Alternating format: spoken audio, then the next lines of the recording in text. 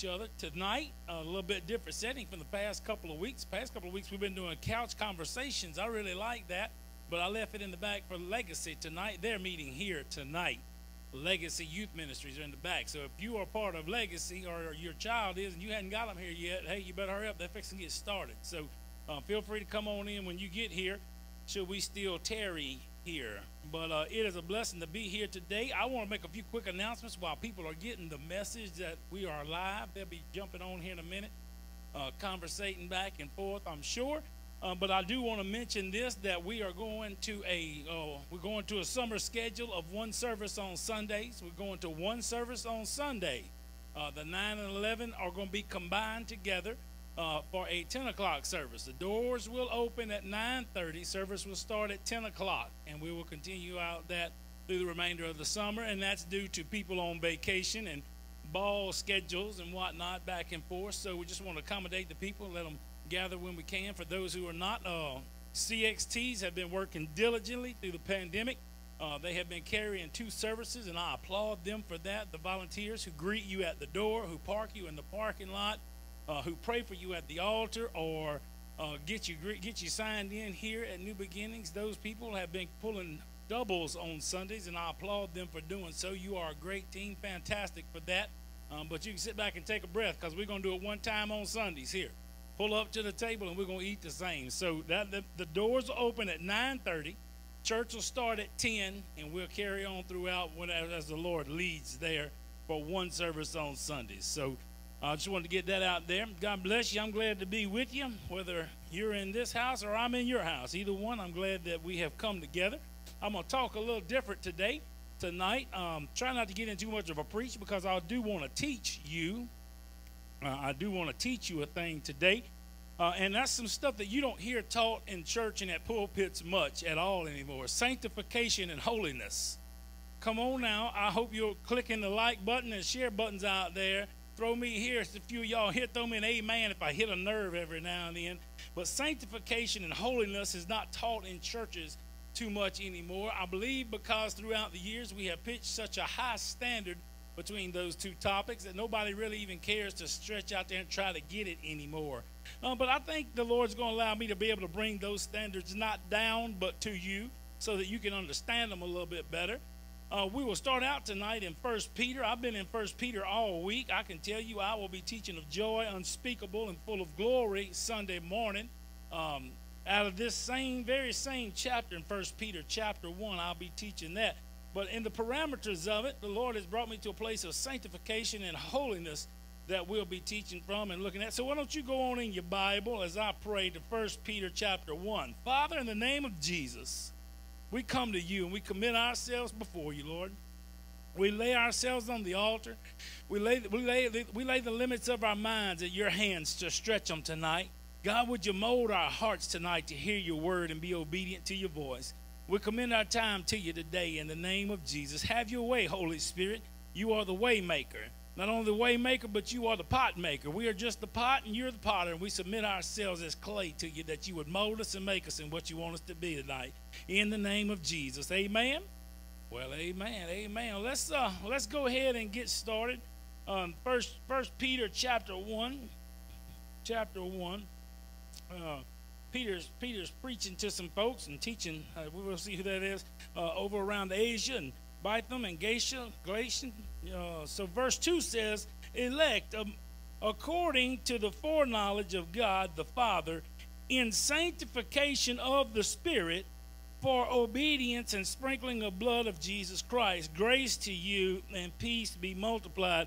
I understand this is just the greeting that Peter is expressing to his audience and the congregation that he's speaking to. But I see that he has noted some things in sanctification right there. He says, he says the, the, the foreknowledge, the foreknowledge of God the Father in sanctification of the Spirit for obedience and sprinkling of the blood of Jesus Christ. Sanctification is the becoming, is the uh, the, the, the transforming of us from our old nature into our new nature. Forgiveness is instant. Forgive, he, he forgives us instantaneously, but, but he's building saints out of us. Come on, somebody. Uh, I don't need to make make uh, make mention of saying who's perfect, who's not perfect, but I do speak of a, a spirit of excellence in this house, and that means that I don't expect you to have it all right right now. I just expect you to excel from here and go forward. That's what the spirit of excellence is: is to start here and to advance, to start here and to progress, to carry on. That's the spirit of excellence, and that's what sanctification does in our life is that we start out, watch, with the lust of the flesh. We start out with the lust of the eye. We start out with the sinful nature that we were born into. But as Christ comes in with his spirit, the spirit of the living God, the Holy Spirit comes in and brings out the fruit the fruits of the Spirit, and they begin to watch, sanctify us. What's that mean? Make us more like saints. If if I could use that picture that's already painted in your mind, we have some some folks in, in, in our neighborhoods in our community who pray to saints. I'm not endorsing that today. I pray to Jesus. That's the only one I pray to. He's the only one who hears me. Everybody else has died. Jesus is the only one that's died and is risen. That's the one I pray to. He's the way, the truth, and the life. But I do believe that there's a process of the Spirit that sanctifies us and brings us more in line with the saints that the Bible speaks of, that brings us more in line with the ways of Christ. And that process is, is, is, is completed and, and, and excelled by the fruits of the Spirit in our life. So when we ask Jesus into our life, He gives us stuff like joy. Joy makes us more like Jesus. He gives us stuff like love, where we couldn't love before, and that makes us more like the Spirit of God. You see the progress that's taking place, the, the, the, the um, transformation that takes place, how He can take a sinner, He can take a sinner and convert them. Uh, well, so the, the blood of Christ purifies us. It, it purifies us and it, it, it, sanctifies us as well. It's, it's a proven uh, realm of sanctification. We could go back and look in Exodus uh, whenever the death angel was going to be passing over the Israelites and the Egyptians. If there were blood over the doorpost, there was purification for the house, and the death angel would pass over. Same as so so for our lives as as we uh, uh, uh, apply the blood in our life and allow the sprinkling of Christ's blood over us, or or, or appreciate or accept what He's done on Calvary's cross he has taken us and purified us and is sanctifying us. Our sanctification and our purification are the effects of consecration. Our sanctification and our purification are the effects of our consecration. That gets a little bit different. Sanctified is, is, proven, is to be proven as a saint. The blood purifies us and puts us in a place to allow the Spirit of God as the as the blood comes and purifies our life, then then the Spirit can come and move in our lives. Because there's only one thing that can separate you from God, and that's sin. The word says nothing can separate you from the love of God. That means He loves you even with sin in your life. He still loves you. But he can't stay where sin is. He can't he couldn't look at Jesus on the cross because he had bore the sins of the world. He had to turn his head from even gazing upon the Son who has done everything for us to make sure there was a way and open up the spirit of adoption in our life. He he couldn't even the Father couldn't look at the Son because he had he carried the weight of the sins of the world upon him and he couldn't look at him. So sin separates us from the Spirit of God, but the blood of Jesus brings the purification in our life that allows the Spirit to begin to come and manifest in the fruits of the Spirit, and that brings sanctification in our lives. I hope this is dawning on you and you're understanding a little bit more here about the sanctification process. And as as we look, I've been talking a little bit about Galatians 5 and 2, I mean 5 and 22. Um, the, the, the love, the joy, the long suffering, the faithfulness, the gentleness. Um, I want you to understand that that is fruits of the Spirit. But you can't have the fruits of the Spirit unless you've invited the Spirit to come into your life. It doesn't just happen. You have to intend on it happening.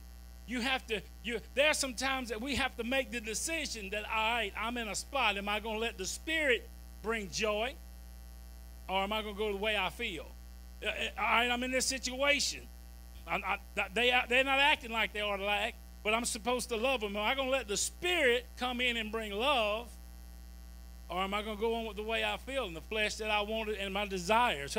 Do I make room? Do I anticipate? Do I intentionally grow with the fruits of the Spirit? So as I allow the Spirit to come in and have fruit in my life, then I reach another step in the, in the process of sanctification. Let's back up down that road a little bit because here's the deal. We start looking at consecration. Consecration comes from the word of holiness. If I'm going to talk for a few minutes, I'm not going to be too long with you today. I'm about halfway through right now, but I think I got enough for you to be able to chew on. Holiness is where it starts. Holiness is not when I get to heaven.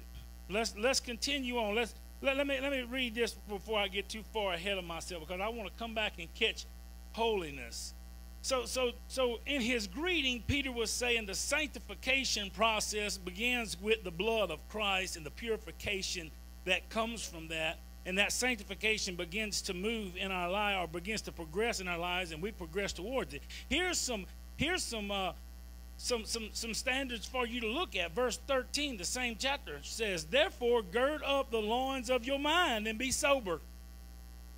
Gird up the loins of your mind. What he's saying is keep your mind in control. Uh, the word Paul wrote said, listen, cast down all those thoughts that exalt themselves against the knowledge of Christ. Move that out of there. You we've got to keep our mind. Can I just talk to you for just a minute about your mind? Your mind seems to be where it all starts. It's the biggest battlefield of your life is in your mind. Uh, Sister Joyce Myers done a whole teaching one time on the battlefield of the mind. That's because from your mind comes a thought, a thought turns into a belief, and a belief will turn into a behavior. And a behavior will turn into a habit.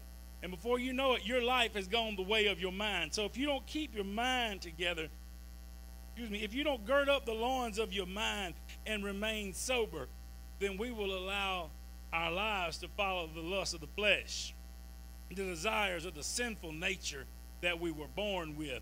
He says, uh, from the form, verse 14, it says, as obedient children, not conforming yourselves to the former lust. Peter is telling us that there's a transition between what we were born in a sinful nature to being what Christ has purified and sanctified us to be. There's a line. We've got to learn to draw a line in the sand and say, hey, this was the old me, this is the new me. There's no one. The word says, because you're lukewarm, he'll spew you out. You cannot be the old you and the new you. It doesn't work. Either you're a new creation or you're still the old creation. You don't hear this preached in church a whole lot because we like to be seeker friendly and we like people to come back next week with their big tithes and offerings. That's what we do, just be honest with you. And, but, but that's not getting us the power of the church, of God that we need in the church house today. I'm a believer in a time of pandemic, I'm a believer in a time of rioting in the street that the people are looking for the power of God. One divine demonstration of the power of God in a church will change the whole situation. Listen, one movement, one, one, one little shift of the kingdom of God showing up changes the whole community, changes the whole atmosphere. But we, the church doesn't have the power to do that because we won't draw a line in the sand and say, this is not sanctified. This is lust. This is sanctification. This we should not do. This we should do. Nobody wants to draw the line in the sand anymore because we want a soft line like everywhere else, and everybody gets a trophy in our situations. This is hard preaching, but I'm, I'm interested in raising up people who are going to not just look at Facebook, but who are going to get ready to go on and get in somebody else's face and help write their book. Come on, somebody. Help me out. Why? while you in writing books, you ought to write your chapter right here. Call it sanctification and stop some of the foolishness that we've been letting fly under the radar. Let's talk about this for a minute. Holiness. Holiness is an intended lifestyle. Sanctification is a process that the Spirit comes in and sanctifies you. But holiness is an intended lifestyle. I'll, I'll, I'll let me uh, let, let me bring it to you at the, the most elementary level. Holiness meaning consecrated, consecrated meaning set apart or, or, or, or stand out or different, um, is very awkward. Let me bring you to the most basic decision that you make that starts the whole process. When the preacher's preaching and he gets finished and he says, Now, if you want to accept Jesus, how awkward. Do you remember how awkward it was the first time that you had to step out in that aisle? Watch, when everybody else stayed in their chairs and you had to get up and turn loose your chair and step out, that's consecration. That's when, whenever, whenever everybody else is doing one thing and you stand out and do something different, that is consecration. Now, we can use different levels depending on how churchy you want to get, but I needed to use that example right there because it's the most elementary. The moment that we consecrate ourselves to be able to do watch, what God told us to do instead of what everybody else is doing. God says, when you consecrate yourself, put yourself on the side and say, Hey, God, I'm ready for you to do what you want to do. I'm stepping out in this aisle and I'm coming up to the front and I'm getting ready to start this. God has started the purification process, and therefore, the sanctification has started taking place. That's as simple as I know how to be able to help you understand holiness and living a lifestyle of holiness is being able to step out and do something different that other folk aren't doing. Gird up the loins of your mind. Don't go back to the former lusts and conduct, conduct yourselves. In verse 17 said, conduct yourselves throughout this time of your stay in fear. Conduct yourselves correctly. But I want to jump back in verse 16. He says, uh, verse 15 we'll start. He says, But as he who called you is holy, you also be holy in your conduct, because it is written, Be holy, for I am holy. That gets real. I don't want to say I lost anybody, but that gets to be a tight spot to where you don't know. Uh, folks start looking at you because holy is such a scary word these days. Uh, and I believe it's because we've gotten so far away from the way we know we were raised and we've just allowed this to creep in and that to creep in to where we don't live a lifestyle of holiness anymore. We just kind of live a lifestyle. I hope I get to heaven now. That's that's what we do. But if we're going to see the power of God move, it's going to come through sanctified believers who believe God can do it. Sanctification comes from consecration that causes us to be able to step out, and that is holiness let me help you understand what it is and what it's not. So I gave you a good example of what it is. What it is not is here's a good example. Let me turn to Levit- Leviticus. Leviticus 11 and 44.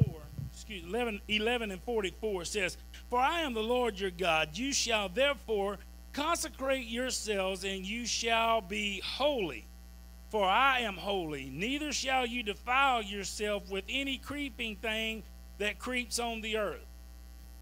I'm not sure what he's saying about creeping things and, and things that creep on the earth. I'm not sure if he's talking about snakes or salamanders or if he's talking about catfish. I, am not real sure. And that has been the, the delay in our society these days is that we forgot the first part that he says, Be holy as I am holy. And then we went straight to staying away from stuff, making laws against stuff. And I think that's where people got a bad taste of holiness in their mouth is that it's not really holiness just because I told you to stay away from this. Stay away from that. Don't cut your hair. Don't wear pants. Don't put on makeup. Don't don't don't wear short sleeves. Don't don't drink. Don't dip. Don't do this. Don't do that. that, that and just on and on. And I got young people dropping out of church because they don't even know what they can do. I believe we've missed it and we went straight to the laws and forgot the principle of what God was trying to tell us is to be holy because He's holy. He says, Be holy because you're made in my image and I made you that way. Listen, it's not a real strenuous task for you to be holy. The strenuous part is to being able to deny yourself and accept Him. Be holy as I am holy. We look at God Almighty and we say, oh my God, He's got angels floating around Him singing day and night, and we're just not worthy to come to the throne. That's a lie. The word, word of God says that you can come boldly to the throne of God because of what Christ has done.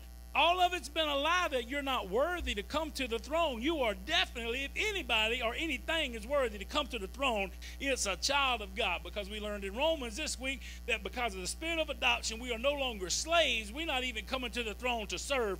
We coming because we are sons. We coming because that's where daddy sits. We coming because that's where our father is. We deserve a spot there because of the blood of Jesus and his sanctification in our life. Can be holy. Question is, is do you want to be? Question now is no longer is the question, can you be holy?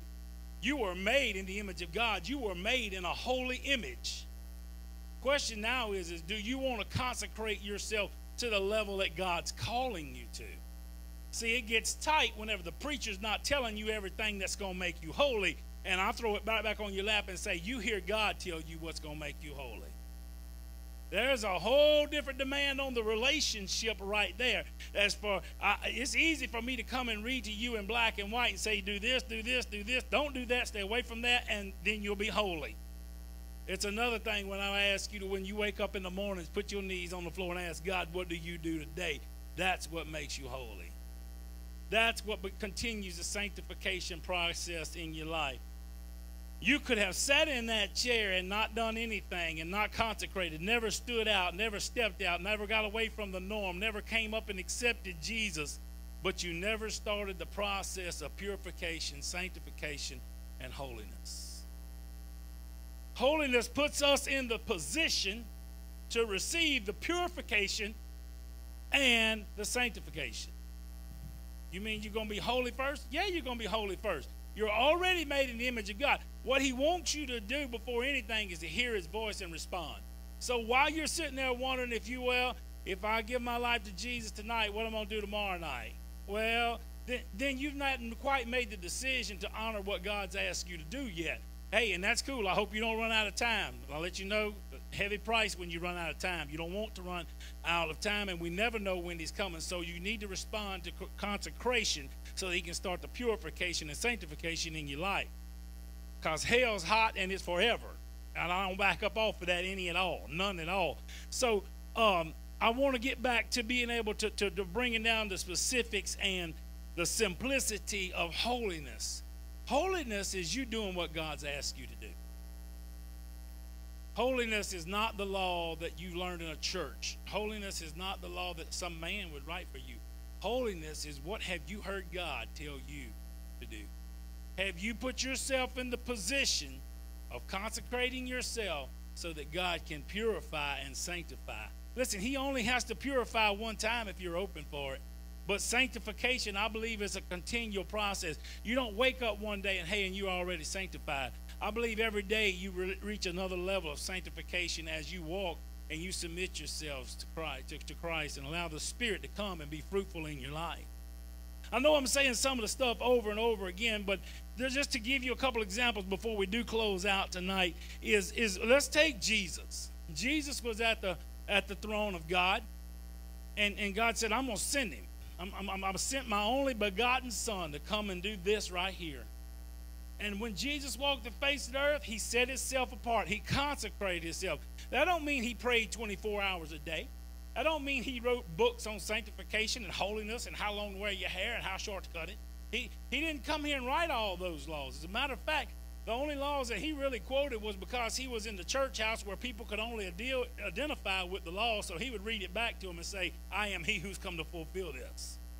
Other than that, he said, I've come to preach the kingdom of the Father. I've come to that his kingdom would be fulfilled. I come to seek first the kingdom of God. So every morning, every time I, I wake, every every move that I make, I'm asking him, what do you want me to do in this situation? It don't mean I've got to put on sackcloth and ashes and go over here and consecrate myself. If he told you to do it, do it. But that don't mean you have to do it unless he's told you to do it. But the example I'm making is Jesus done what the Father asked him to do that consecrated him, that put him in a position of holiness that set him up for sanctification. Let's look at just a couple more before we close out tonight. Peter. Peter, the one who denied Jesus three times at one night, who then reminded and turned back. That same Peter was in a boat. And Jesus came to him walking on the water. Defying gravity, He's standing on water. Men don't stand on water by the laws of nature. They don't, that's, that's not what happens.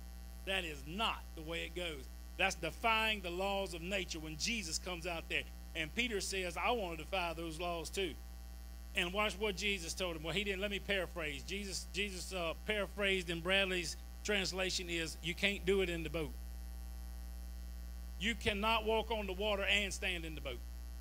You cannot be safe in the boat and walk on the water and defy gravity.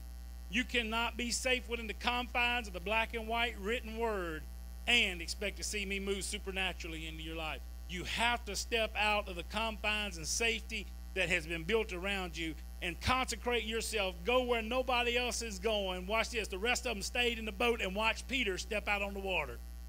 Jesus, uh, Peter said, Can I come? Jesus said, If you'll get out the boat, if you'll get away from that safety, if you'll get away from that secure place, you know what? Sometimes we don't pray because, not because God didn't ask us, but sometimes we don't pray for a stranger because we don't know if they'll accept us. You won't ever know if you don't ask them. You'll ne- and then watch this. You'll never see God heal their life and change their life if you don't pray. But you'll never pray if you don't ask them.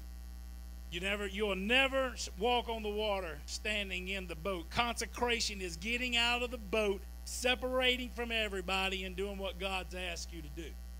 That is holiness. It lines you up for purification and sanctification.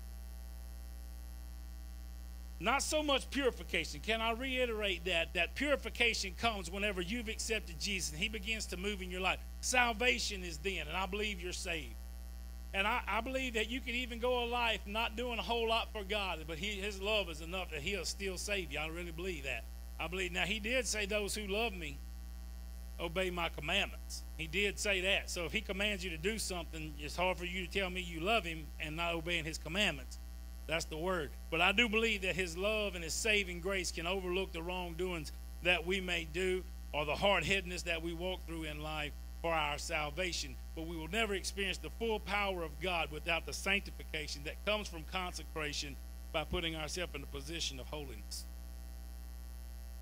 It's tight in here, but that's all right. I, I expected it that way. I hope you're soaking it up. I hope you're taking some notes. I hope you're giving some likes, some thumbs up, maybe some shares. I got one more. So Peter Peter can't do what God's called and what Jesus has called him to do sitting in the boat. He has to get out. Step out from away among those. Samson. Samson has a supernatural strength that is just unknown and unheard of in men in that day and time. Samson was a man. Uh, I don't even see where it says that he was in great stature. Just said he was real strong. We don't know that God didn't take an average sized man and give him supernatural strength. We, we don't know that. What, what we do know is he had strength that men couldn't reckon. But what we also know is there were some times in Samson's life that he wouldn't consecrate himself as he had before. Because his mom said, the Lord told his mom, don't ever touch a razor to his hair. Here again, don't get caught up in cutting hair. God said is the thing. God said the obedience of God's word. Oh, listen, if you want to cut up with me, I'll tell you, if you get in the word too deep, you'll cut your own self. Because the very same verses that says don't have a tattoo says don't shave either. So if you're going to cut up with people with tattoos and you're going to shave, y'all in the same boat you really don't want to get into the law because it's going to cut you before it's over The best thing for you to do is stay in the relationship and hear what God said. God wasn't worried about how long Samson's hair got. God was worried that his mom and dad was going to be obedient to the word, and because they would be obedient, this child would be a Nazarene. Because of that, he would be able to put the strength on him that he called. Just because of the obedience, it said, I'm going to consecrate. I mean, I don't know how little Samson looked with a ponytail and all the rest of the little boys had haircuts. I, I don't know. Did the little boys even have haircuts? Uh, we, we don't know. I mean, there wasn't many stylists back in the day. I'm not sure what the Philistines did for getting their hair done and nails did and all that kind of stuff. I, we, we, don't even know. But can, can I see? Can I show you just how silly that gets when we start worrying about the cosmetics and not the principles that God's trying to teach us? He wasn't worried about how long the locks were in Samson's head. He was worried about the obedience of his fathers and the obedience of Samson to be able to carry it two generations deep. That said, God said he'd do this if I'd stay away from that. I better stay away from it. Problem is, he won't lay his head, his head in the lap of Delilah and let her cut his hair. He lay, hey, sleep with the enemy, however you want to say it. He was he was in a situation that he probably should not have been in because he ended up dealing with some stuff that he shouldn't have to be dealing with and it cost him the divine power that God had on his life. Because God said, if you can consecrate yourself and stay in this place of holiness, then I can continue this realm uh, th- this I can advance the process of sanctification and put you in the position that I've called you to be. Keep your head out of the lap of Delilah and don't sleep with the enemy and don't fool with your hair. Hear what I got to say. And God says, I can continue to do. What Samson do? Exactly what he shouldn't have done. Slept with the enemy. They cut his hair, bound him up, plucked his vision out of his head. All those things. That can preach for days right there.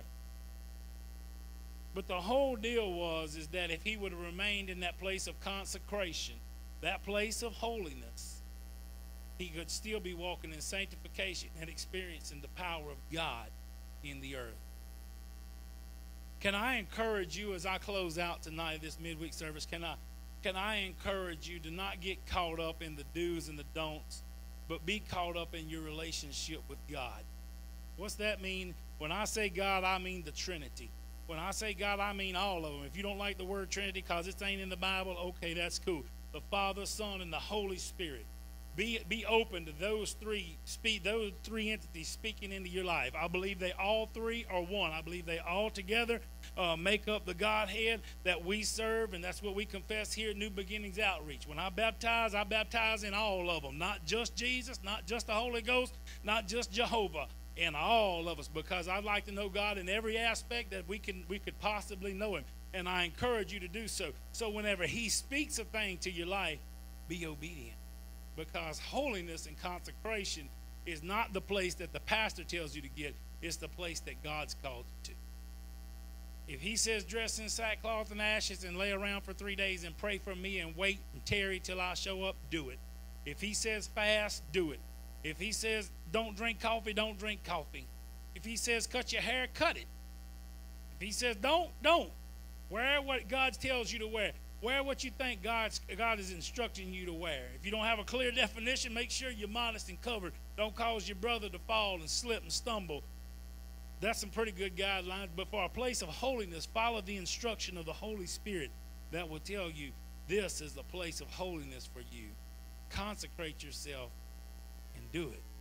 And as you do it, just like being saved, the purification process starts. Forgiveness is instant, the sin is gone, purification comes, and the sanctification, the life of the Spirit can come alive in your life. And before you know it, those dead, dry branches of your life will soon be fruitful in the kingdom of God. Hope I've challenged you tonight. Hope you have a little better understanding of sanctification and holiness. I know I don't have it all. I'm sure there's some who's going to try to nitpick it and pull it apart, but that's all right. If those who would chew on it and spit out the bones, I think you'll grow and it'll be enough nutrition for you for the week. Continue to, to go. I want to encourage you to make sure that, that you hear God and live a lifestyle of holiness, a lifestyle of holiness, and then allow the Spirit to do the sanctifying. You will never be good enough. It's the blood of Jesus that makes us good enough. You'll never be right enough. It's His righteousness. But but our obedience can set us up in the position to be able to receive what God wants to do in our life next. Amen. Praise the Lord. Thank you for allowing me in your house. Thank you for those who joined me tonight. Um, God bless you. Uh, another quick reminder before I close out is remember we are going to one service Sunday morning. It will open up at 9:30. Service will start at 10. Uh, I welcome you out to come and be a part. We do have these chairs socially distanced. It may not look like it, but Every other row is backed up to the other with six foot between them. Um, so, so we are correct in that. We do have overflow in the back. Should that be an issue Sunday morning, we will make sure of that. Uh, there's hand sanitizer. Wear a mask. Feel free if you need to. And begin to pray. My message tonight on sanctification and holiness was not just because I wanted something to preach. We are in a situation to where people are letting their guards down of the viruses and plagues that the enemy's tried to put on us and if we don't put ourselves in a place of sanctification and holiness, we will not see this broke off of America. America has got to come back to true holiness and sanctification so that we can see the power of God move because God can't move on disobedient people. God moves on obedient people. God moves on people who want to move, who want to respond to Him and do as He leads. So uh, let's let's start focusing on that. Pray for your neighbors. Don't condemn them because they're not as holy as you are, but pray for them and lift them up.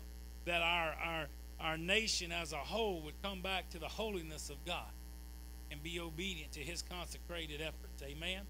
Father, in the name of Jesus, I thank you for these people. I thank you for allowing me to be able to teach them tonight.